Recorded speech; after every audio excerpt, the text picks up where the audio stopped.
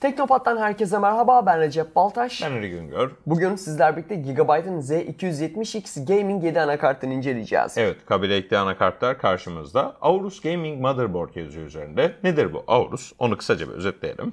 Bu Aorus Gigabyte'ın özellikle premium ürünler için kullandığı bir alt marka. Evet. Şimdi bunu anakartın ve bazı ürünlerin üzerinde görmeye başladık. Gigabyte'da markalandırmada, sınıflandırmada bunları premium segment olarak ayrı bir yere konumlandırıyor.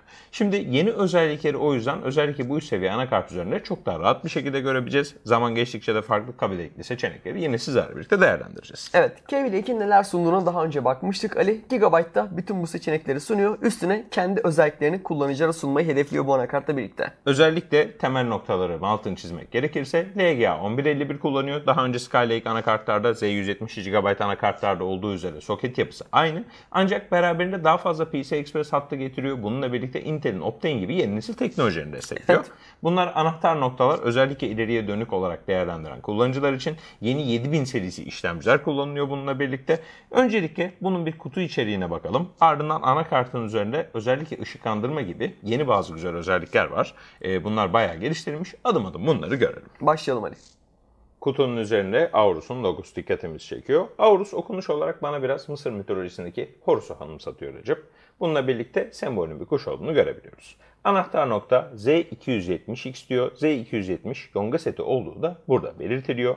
Intel Core Inside diyor. Intel işlemcileri destekledi. Zaten başta söyledik. Burada yine LGA 1151, DDR4 4000 Plus diyor.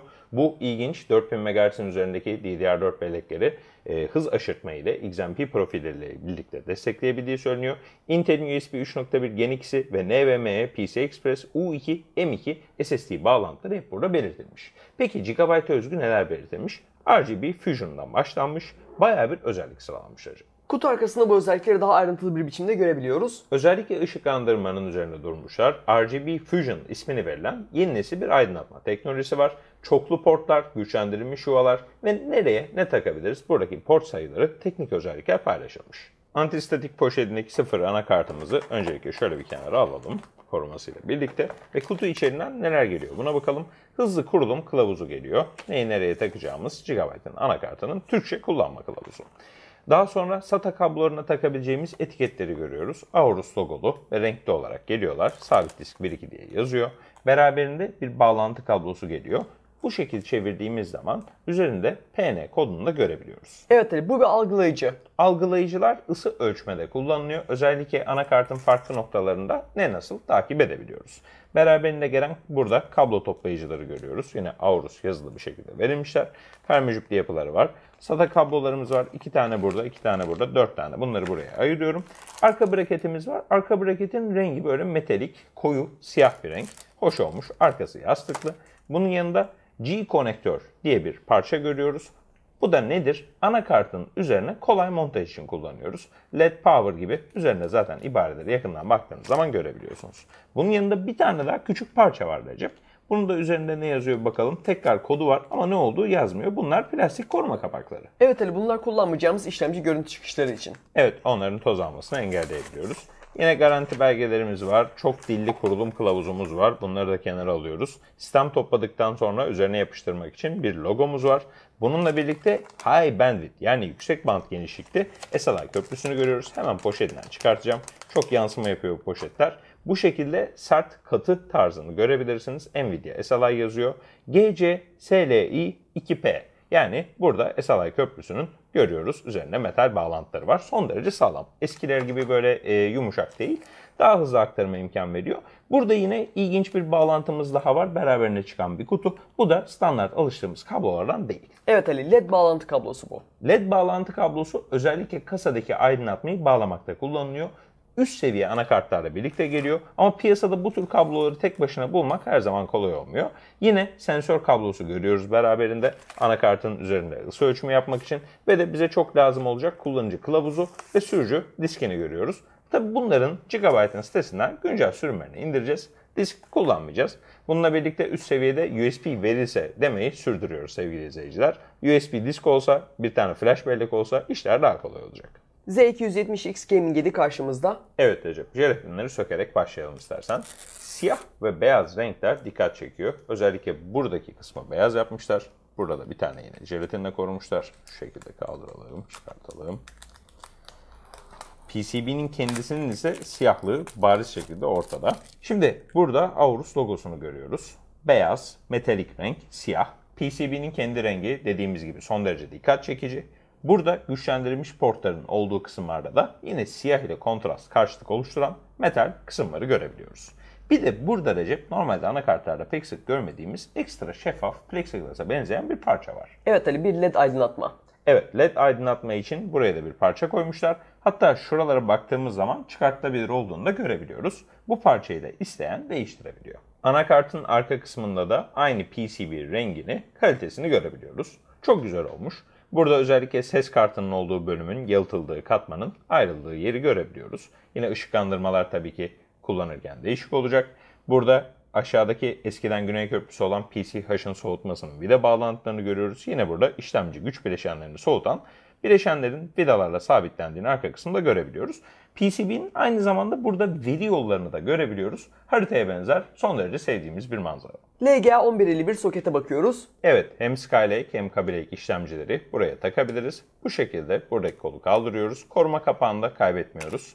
Ve alttaki pinlerin renginin farklı olduğunu görüyoruz. Evet Ali pinler biraz daha altın rengine kaçıyor. Bu Gigabyte'ın 15 mikron altın kaplama soketi. Özellikle soketteki Gigabyte geçtiğimiz yıllarda oldukça iyileştirmeler yaptı. Burada da bunun etkisini görebiliyoruz. Peki Recep bu altın kaplama işlevsel olarak bir şeyleri değiştiriyor mu? Evet Ali altın iyi bir iletken ve oğuklak altında işlemcimiz ile pinlerimizin çok daha iyi iletişim kurmasını sağlıyor. Yani soketin kalitesi değiştirildi, iyileştirildi derken bunu kastediyoruz. Z270X Gaming 7'nin 4 adet bellek yuvası var. Evet yine çift kanal RAM kullanabiliyoruz burada. Çift kanal montaj için birinci yuvamız, ikinci yuvamız sevgili izleyiciler. Bu ikisine taktığımız zaman iki kanal olarak belleklerimiz daha yüksek performansla çalışıyor. Tabii ki 4 tane bellek taktığımız zaman tamamını dolduruyoruz. Bu RAM yuvaları iki taraftan açılıyor. Bunu da bu şekilde altını çizmiş oldum. Altında da burada metal güçlendirme olduğunu görebiliyoruz. Yani soket sağlamlaştırılmış. Peki Recep, şimdi bununla sistem toplamak isteyen bir kullanıcının merak edeceği iki tane nokta olacaktır. Bir, en fazla ne kadar RAM şu an takıp kullanabilirim? İkincisi, bu RAM'leri hangi frekanslara çıkartabilirim? Performansım artar mı? Daha önceki Z170 bir anakarta göre özellikle DDR4 belleklerde bir fark var. Şu an ile 64 GB kapasiteli bir sistem toplayabilirsin. Frekans konusunda da DDR4 4133 MHz ve üstü destekleniyor. Bu destekleniyor ama piyasada doğrudan bu frekansta çalışan bellek her zaman bulmak mümkün değil. XMP ile de etkinleştirildiği zaman dediğimiz gibi o iş hız aşırtmaya giriyor. Yine de üst seviyede işlemciyi hız aşırtmak, RAM'i de hız aşırtmak isteyen, yüksek frekansla çalıştırmak isteyen kullanıcılar için güzel bir destek. Şunu söyleyelim, Z170 ve Z270 arasında ve özellikle bu anakart ile daha önceki nesilden şu an DDR4'te daha yüksek frekans alabiliyoruz. Yani RAM iyileştirilmiş, bunu özet olarak söyleyebiliriz. Anakartın PCI Express portlarına baktığımızda bunların da metalle güçlendirildiğini görebiliyoruz. 1, 2, 3 adet güçlendirilmiş portumuz var. Bunlar tam boy uzunluğa sahip. Burada da daha kısa PCI Express portlarını görebiliyoruz. 3 tane de arada bunlardan var. Genişleme kartı gibi farklı araçları buraya takabiliyoruz. Bunların uçlarının kapalı olduğunu, daha uzun PCI Express bağlantılar için alttaki portu tercih etmemiz gerekeceğini belirtelim. Peki şimdi ben bununla oyun bilgisayarı kuracağım. Gaming anakart deniliyor Recep.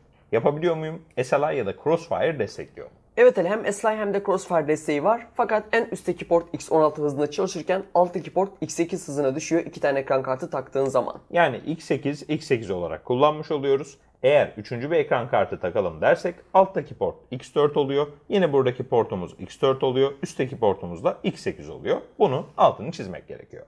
Elbette 3 ekran kartı konfigürasyonlarını biz çok tavsiye etmiyoruz. Neden? En alttaki slot X4 hızında çalışıyor. Üstelik M2 portu ile PCI Express hatlarını paylaşıyor. Yani M2 ile çok yüksek hızda SSD bağlantısı elde etmek, hatta birden fazla port arasında RAID yapmak varken 3. ekran kartını takıp oyunlarda zaten ekstra bir optimizasyon olmadığı için performans alamamaktansa bu şekilde mantıklı bir kurulum yapmak çok daha akıllıca olacaktır.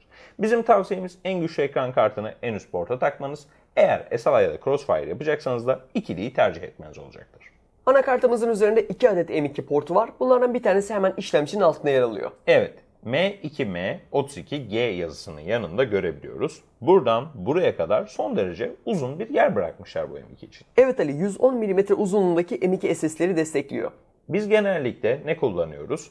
Burada M2 için 80 standartını, 2280 standartını kullanıyoruz. Bakın vidayı da zaten 2280 olan yere takılı bırakmışlar. Genellikle bir 960 Pro olayım, Evo olayım, buna takayım.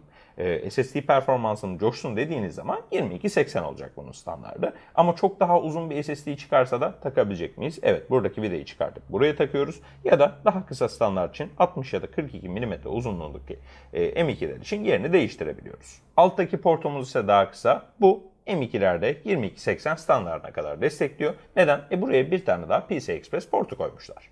Şimdi bu ikisini peki RAID yapabiliyor muyuz? Bazı kullanıcıların kafasında sancak gemisi SSD'leri alıp RAID yapmak var Recep. Evet Ali RAID yapabiliyoruz. Tabii ki PCI Express M2 SSD'ler kullanmamız gerektiğini belirtelim. Evet, PCI Express ile SATA'yı bir arada RAID yapamazsınız. Bunu özellikle göz önüne almanızda fayda var. Ama bu iki M2 portunu bir arada kullanıp çok daha yüksek hızlara erişebilirsiniz. Hatta üçüncü bir portu da dahil edebilirsiniz. Kesinlikle. Söz konusu diğer portumuz da U2 portu. Dileyen kullanıcılar M2, U2 ve PCI Express arasında da RAID yapabilirler. Depolama konusunda SATA ve SATA Express portlarımız da var. Evet, burada gördüğümüz SATA portları tek başına SATA olarak kullanılıyor ama bu arkadaki birimiyle birlikte tek parça halinde de SATA Express'e dönüşüyor. Evet yani 6 tane SATA 6 gigabit portumuz ya da 3 tane SATA Express portumuz mevcut. Bunları aynı anda kullanmak tabii ki mümkün değil. Yani SATA'lardan bir tanesine SATA port taktığınız zaman SATA Express portunu artık SATA olarak kullanmış oluyorsunuz. Benzer şekilde anakart kitapçığında M2 SSD'lerle SATA portlarının da birbirini iptal etmesi üzerine detaylı bilgi verilmiş.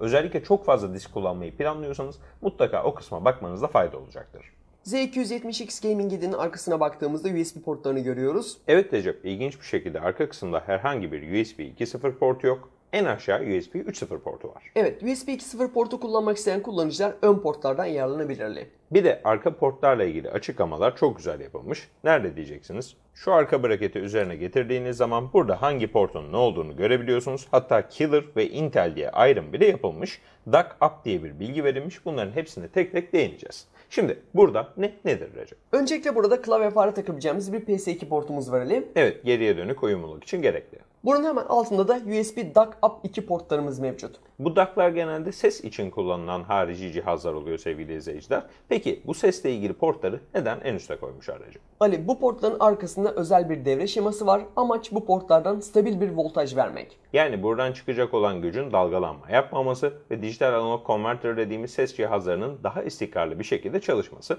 Aynı şekilde oyun cihazlarını da buraya bağlayıp kullanabiliriz. Oyuncu klavyelerini, farelerini rahatlıkla takabiliriz. Evet yine GB VR cihazlarının da buraya bağlanmasını tavsiye ediyor. Özellikle VR cihazlarında da bir USB üzerinden veri aktarımı oluyor. Sadece HDMI kablosunu takmak yetmiyor. O yüzden düzenli voltaj akımı önemli. Devam ettiğimiz zaman burada HDMI ve DisplayPort çıkışlarını görüyoruz. Bu da 7. nesil ya da 6. nesil işlemcileri kullanırken dahili grafik yongası olan HD 530 ya da 630 gibi grafik yongalarından görüntü çıkışı almamızı sağlıyor. Kesinlikle. 2 adet USB 3.0 portumuz var burada. Evet mavi portlar renklerinden zaten USB 3.0 olduklarını anlayabiliriz. Hemen devam ettiğimiz zaman ile burada USB Type-C portumuz var. Arkasında Intel yongası olan. USB 3.1 sevgili izleyiciler kim yerde USB 3.1 Gen 2 olarak da geçebilir. En son standart. Buradan özellikle çok hızlı veri aktarımı yapabiliyoruz. Harici depolama cihazlarımızı buraya takmak mantıklı olacaktır. Onun üstünde Ethernet portumuzu görüyoruz. Ali Killer E2500 yongası ile destekleniyor bu port. Evet bir tane portta Killer, diğerinde ise Intel kontrolcü kullanılmış. Yani iki tane farklı Ethernet'imiz var. Birden farklı A bağlanabiliriz. Bu da önemli güzel özelliklerden bir tanesi. Önemli bir nokta da Ali Killer'ın altındaki USB Type-C portu aynı zamanda Thunderbolt 3 destekli. Thunderbolt 3 desteği her USB 3.1 Gen 2 portunun arkasında bulunmuyor. Bunun için Thunderbolt'un kontrol şemasını destekleyen bir yonganın kullanılmış olması lazım. Thunderbolt neden önemli? Özellikle iş kullanıcıları ya da yüksek miktarda veriyi hızlı bir şekilde transfer etmek isteyen kullanıcılar için kritik. Evet 40 gigabit hız sunuyor. 40 gigabit hız muazzam ve Thunderbolt cihaz kullanan kullanıcılar için tercih sebeplerinden bir tanesi. Ancak cihazın üzerindeki tek USB 3.1 Gen 2 portu bu değil. Evet buradaki kırmızı port da USB 3.1 Gen 2 yani 10 gigabit hız sunabiliyor. Evet, buradaki Gen 2 portunun hemen üzerinde bir USB 3.0 portumuz daha bulunuyor. Bunun yanında ise 3.5 mm ses çıkışlarını görüyoruz. Bunlar altın kaplama, özellikle paslanmaya karşı daha dayanıklı, iletkenlik açısından gayet güzel. Fakat bunların altında bir de optik çıkışımız var. Çok güzel ses sistemleri bağlayacaksanız bunu da kullanabilirsiniz. Bu ses portlarının arkasında doğal olarak bir ses çözüm var. Bunun PCB'den ayrılmış olduğunu belirtmiştik. Aynı zamanda üzerinde bir de koruma kısmı var. Bu kısmı çıkartıp altındakilere yakından bakalım. Gigabyte burada Creative'in ses çözümünü kullanıyor Ali. Soundcore 3D olarak geçiyor bu Yonga. Evet, buradaki Yonga'nın tabi beraberinde bir de yazılım desteği ve destek bileşenleri önemli. Evet, yazılım olarak Creative'in CBX Pro Studio yazılımı kullanılıyor. Temiz ve berrak bir ses için ses yongasına Japon Nichicon kondansatörler eşlik ediyor. Bunların sesi genellikle yumuşak ve doğal oluyor. Burada her bir bileşeni görebiliyoruz. Ses seviyesini artırmak için burada bir amfimiz var. Evet, bu değiştirilebilir bir amfi. Yani kullanıcı bunu ses karakterini değiştirmek için çıkartıp yerine başka bir tane takabiliyor. Kesinlikle öyle. Bu Texas Instruments tarafından üretilen OPA 134 Sound Plus serisi bir amfi, yüksek performanslı bir ses amfisi, ultra düşük bozulma sunuyor ve düşük gürültü seviyesiyle sesi yükseltiyor. Oradaki bozulmadan kasıt tabii ki Total Harmonic Distortion THD değeri sevgili izleyiciler. Şu an bunu değiştirmeye hiçbir şekilde gerek yok. Zaten son derece kaliteli bir e, amfi kullanılmış. Ama illa ben kendi istediğim amfiyle değiştireceğim diyen kullanıcılar var. Onlar için düşünülmüş bir özellik ve kesinlikle bir artı. Burada audio cap yazılı bir anahtar var. Bu ne işe yarıyor Recep? Ali ses çıkış gücünü artırmaya yarıyor. Yani bu anahtarı birden ikiye aldığımız zaman konumunu değiştirdiğimiz zaman daha da güçlü bir çıkış elde ediyoruz. Bu da bağladığımız ses cihazlarına göre yapmamız ya da yapmamamız gereken bir ayar. Evet normal şartlarda 1'deyken 2,5 katı bir kazanım sağlanırken 2'ye aldığımızda 6 katı bir kazanım elde ediyoruz. Yani amfinin gücünü buradan çarpan olarak kontrol etmiş oluyoruz. Normalde korumanın altında kalan led ışıklandırmaları da yine ses bölümünde görebiliyoruz. Bu küçük şeylerin her biri bir led ışık. Sadece ses kartının değil diğer bileşenlerin üzerindeki soğutmaları söktük, çıkarttık ve böylece işlemcinin yanında ona beslenen gücü kontrol eden devreleri görebiliyoruz. Evet Ali 11 faz bir güç beslemesi olduğunu görüyoruz işlemcinin. Her bir fazın arkasında 10 semenin MOSFET'leri var. Bunlar 4C06N ve 4C10N modelleri 69 amper ve 46 amper güç sağlayabiliyor bu MOSFET'ler. MOSFET'lerin hemen önünde boğucu bobinlerimizi görüyoruz. Onların da önünde siyah katı kapasitörlerimiz var. Bunlar 10.000 saatin üzerinde ömre sahip. İşlemcinin bütün güç beslemesi Intersil'in ISL 95866 voltaj regülatörü tarafından kontrol ediliyor. Şimdi Z270 Yonga setli anakartlar hız aşırtmaya müsait. Burada da hız aşırtmaya uygun bir güç yapısının kullanıldığını görüyoruz. Daha ileri seviyede hız aşırtma yaparken daha hassas kontrole ihtiyaç duyuyoruz. Bu ihtiyacı karşılamak için de burada Turbo B-Clock denilen bir saat jeneratörümüz var. Evet bu saat jeneratörü sayesinde base clock frekansını daha hassas bir biçimde artırabiliyoruz. Bu saat jeneratörü olduğu zaman bu saat oluşturucu anakartın üzerine yerleştirildiği zaman jitter gibi titreşimlerden daha az etkileniyoruz ve hız aşırtmamız daha stabil bir şekilde pratik kullanıma yansıyabiliyor. Sadece rekor kırmak için o frekansları görmek değil aynı zamanda kullanmak istiyoruz. Tabi hız aşırtma yaparken iyi bir de soğutma kullanmak gerekiyor. Hava ya da sıvı soğutma kullanırken de bunları kontrol edebilmek için anakartın üzerine bağlayacak yuvalara ihtiyacımız var. Şu an yakından baktığımız 4000'de bu bağlantılarda soğutmaların kontrol bağlantılarının, güç bağlantılarının yapıldığı anahtar noktalar. Şu an bunlardan CPU fan bağlantısını ve CPU optional yani ek bağlantıyı görebiliyoruz. 24 ana güç bağlantısının hemen yanında iki tane daha fan bağlantımızın olduğunu görüyoruz. Yalnız bunların amaçları aslında biraz birbirinden farklı. Evet, üstteki pompa bağlantısı, alttaki fan bağlantısı. Genellikle her sistem toplamada kasanın bir arka tahliye fanı olur ya da arka kısma bağlanacak fan için anakartın arkasına doğru bir fan bağlantısı yerleştirilir. Burada da SYS fan bir bağlantısını görebiliyoruz. Arka kısma yakın yerleştirilmiş. Yine anakartın alt kısmında da bağlantılarımız devam ediyor. SYS fan olarak burada bunları görebiliyoruz. Sistem fanı, sistem fanı ve sistem fanı ve pompa birlikte bir bağlantı sunulmuş bizlere. Toplamda kaç tane bağlantı olur acaba? Ali 6 tane fan bağlantısı, 2 tane de pompa bağlantısı var. Yani toplamda 8 bağlantı var ama bunların 2 tanesi özellikle sıvı soğutmanın pompaları için ayarlanmış. İşlemci sıvı soğutmasının ötesinde bir tane daha pompa bağlayacak yerimiz var. Yani burada ekran kartını ya da işlemcinin çevre bileşenlerini soğutacak bir sıvı soğutma sistem tertibatı kullanırsak onun da pompasını bağlayabiliriz. Her bir fan bağlantısının arka kısmına baktığımızda burada yongaların da yer aldığını görüyoruz. Bu yongalar her bir fan kontrolcüsünün işlevlerini yürütmesini sağlıyor. Evet Ali hem PWM hem de voltaj ile fanları kontrol edebiliyoruz bu sayede. Yine anakartımızın Super I.O. yongasında burada yer aldığını görüyoruz. Pek çok farklı anakart üzeri ölçümü buradaki yonga gerçekleştiriyor.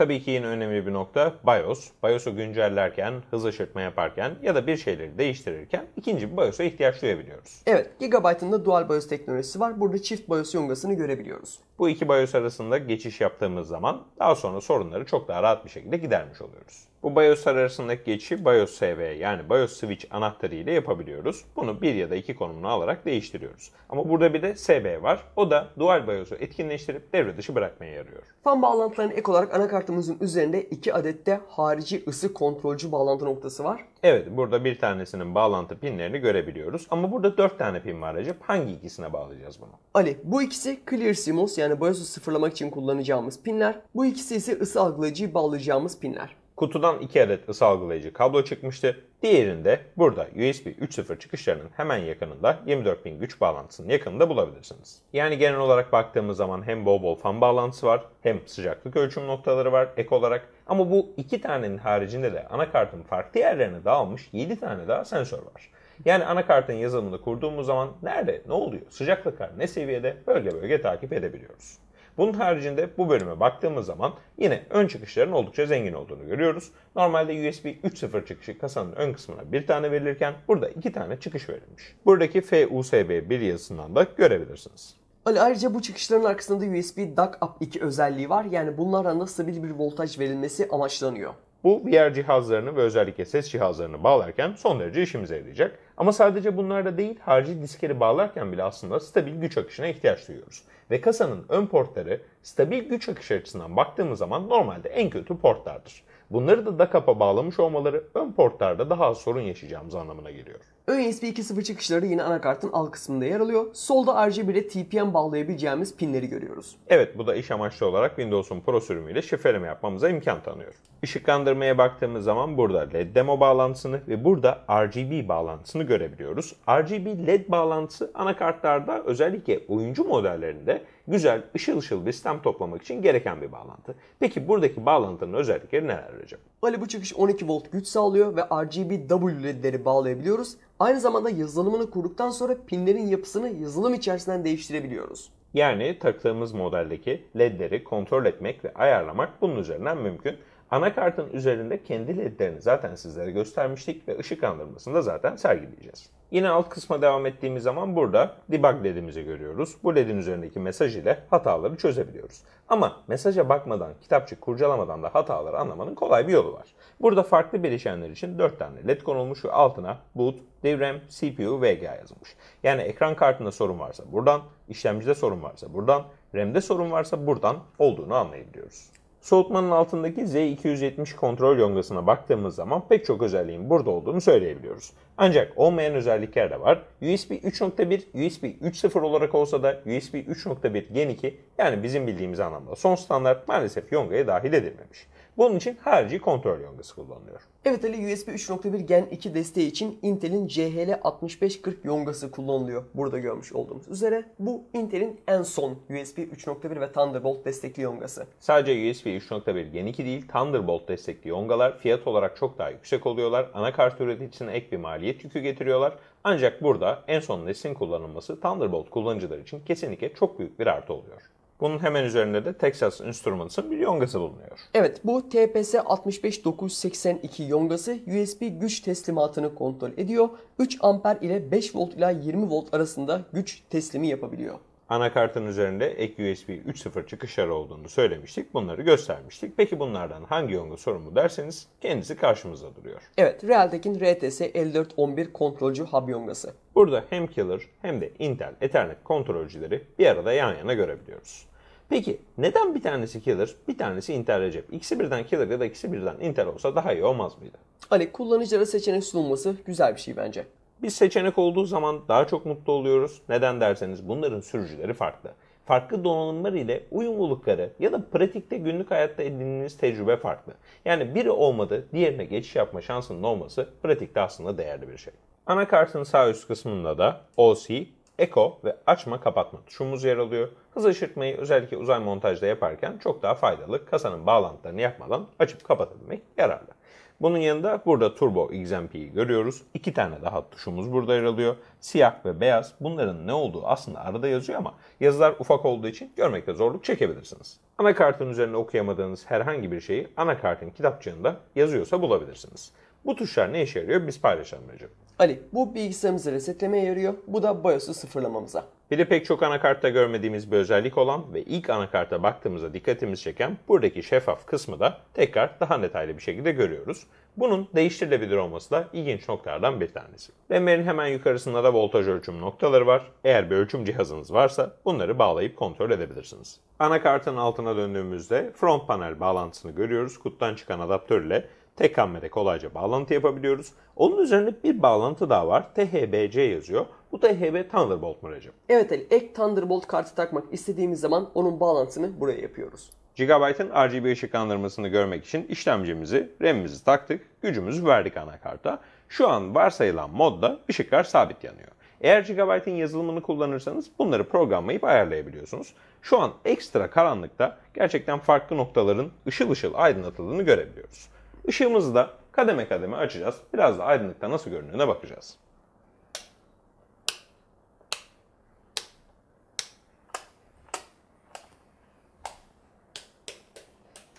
Tam aydınlık hatta çok güçlü stüdyo ışıkları altında bile ışıkların net görülebildiğini görüyoruz. Işıklandırma açısından son derece başarılı olduğunu rahatlıkla söyleyebiliriz. Özellikle de anakartın sağ üst kısmında 24.000 güç girişinin yanında yer alan özel ışıklandırma bölümü gerçekten şık duruyor.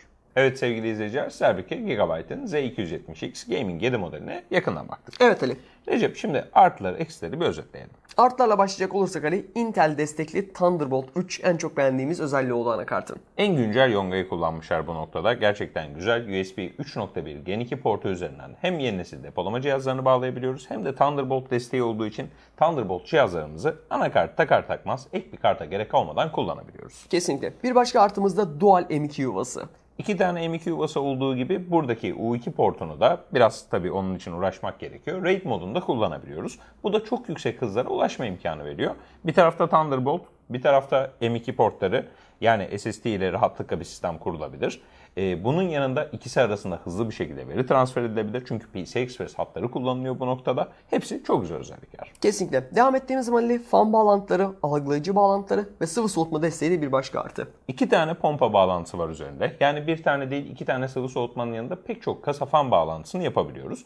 Bunu normalde bir fan extension ile yani bir uzatma ile ekstra bir kart ile yapmaktan Anakart üzerine bağlamak daha iyi bir seçenek. Neden böyle derseniz anakartın kendi yazılımı üzerinden merkezi kontrol daha basit, daha temiz ve daha garanti bir yöntem oluyor. Ayrıca bunların her birinin arkasındaki yongalara da baktık. PWM modunda olsun olmasın bunları rahatlıkla kullanabiliyoruz. Evet, Gigabyte'ın Smart Fan 5 yazılımı ile bütün fanlarınızı rahatlıkla kontrol edebilirsiniz. Devam ettiğimiz zaman ile RGB aydınlatmada bir başka artı olarak gözümüze çarpıyor. RGB aydınlatma anakartın pek çok yerinde kullanılmış. RGB aydınlatmanın buradaki özel kısımda ayrıca şık durduğunu söyledik zaten. Hem burada var hem alt kısımda var hem ses kartının altında var. Şimdi tabii ki sadece taktığınız zaman düz kırmızı bir şekilde yanıyor ama RGB dedik orada renkleri istediğiniz gibi ayarlayabiliyorsunuz. O artık sizin zevkinize kalmış. Evet hatta bölgeleri ayrı ayrı kontrol edebildiğinizi belirtelim. Devam ettiğimiz zaman ile güçlendirilmiş portlarda bir başka artı. Hem RAM portları güçlendirilmiş hem PCI Express portları güçlendirilmiş. Ayrıca siyah ile oradaki metalik renk de güzel duruyor. Yani fiziksel sağlamlık katmanın yanı sıra estetik bir yanı da var. Siyah beyaz renk şeması tasarımı genel olarak güzel olmuş. Dediğimiz gibi RGB ışıklandırma yaptıktan sonra kasanın bir de LED bağlantısını da yaptık. M2'leri taktık. SLI ya da Crossfire yaptık. Hatta kutu içerisinden high bandwidth bir SLI köprüsü de çıktı. Yani kutu içeriği güzel, bağlantı seçenekleri güzel, her şey yolunda. Peki ne olabilirdi, ne eklenebilirdi? Ali ön USB 3.1 portu olabilirdi. Evet, USB 3.0 portundan iki tane ön kısma koymuşlar ama USB 3.1 portu sadece arkada yer alıyor. Şu an bununla ilgili bazı gelişmeler yaşanıyor. Bakalım Recep o noktada zaten kasa desteğinin gelmesi zaman alacak. Şunun altını çizmek istiyorum yalnız. USB 3.0 portlarının tamamından yararlanmak istiyorsanız kasanızın da ön kısmında ek USB 3.0 portlar olmasına fayda olacaktır. Kesinlikle. Hatta Type-C port olursa daha da iyi. Şimdi bunu şu şekilde değerlendirmek gerekiyor. Sistem toplarken kasayı, anakartı, diğer bileşenleri hepsini birden baştan planlarsanız daha rahat etmiş olacaksınız. Ben bunda bir sistem toplayacak olsam Recep yeni e, Core i7 7700K kullanırım. Evet. Hafif bir hız aşırtma ile rahatlıkla kullanılabilir. Abartı bir soğutmaya ihtiyaç duymadan kullanılabilir. Ama abartı soğutma yapacağım diyen kullanıcı bütün bu fan bağlantılarından tabii ki istifade edebilir. Kasanın içerisini e, düşük devirde dönen ama çok sayıda fan ile donatarak ses seviyesinde kontrol altına tutabilir. Kesinlikle. Bunun yanına ışıklandırmasını yapabilir. Dediğimiz gibi harici dahili depolama cihazlarını bağlayabilir. Yazılım açısından da gayet güzel. Bunun yanında turbo B-Clock açısından da gayet güzel. Yani incelediğimiz her noktada memnun kaldık. PCB kalitesinden bağlantılara kadar her noktada olması gereken üst seviye oyuncu anakartını GB sunmayı başarmış. Evet, bunun yanında K-Bilek ile birlikte gelen Optane bellek desteği de olduğunu söyleyelim. Şimdi o Optane desteği için tabii ki Optane'lerin gelmesi lazım. 3D e, Memory Crosspoint böyle Intel'in uzun bir ismi var. Daha sonra Optane olarak onu daha basitleştirdi. İleriye dönük olarak Intel'in de burada sunduğu yeni Z270 yongası ile birlikte planları var. Doğal olarak Kaby Lake, Skylake'den sonra sıfır sistem toplayacak ve uzun süre boyunca sistemini değiştirmemiş kullanıcılar için doğal tercih olacak. Hali hazırda Skylake kullanan kullanıcılar hemen Kaby koşarak geçmeyecekler ama hız aşırtma meraklıları ya da en yüksek performans, en güncel ürün bende olmalı. Ben zaten eskisini hemen ikinci elde değerlendiriyorum. Güncel sisteme geçiyorum diyenler rahatlıkla geçebilir. Kesinlikle. Sizler birlikte Gigabyte'ın Z270X Gaming 7 anakartını inceledik. Bir başka incelemede görüşmek üzere. Ben Recep Baltaş. Ben Ali Güngör. Kendinize iyi bakın. Hoşçakalın.